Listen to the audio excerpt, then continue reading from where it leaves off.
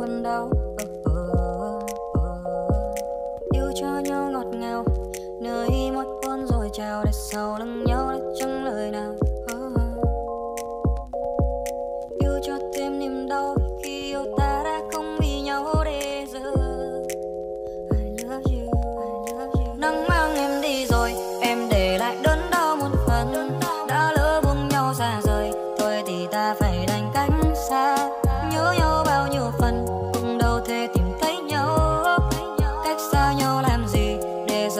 phải chịu đớn đau.